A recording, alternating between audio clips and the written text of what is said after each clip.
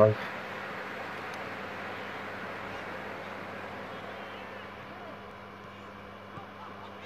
Oh my god, Maradona. He's on the afterburner, son.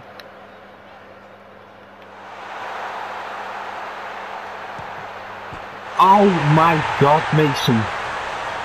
That is, oh my.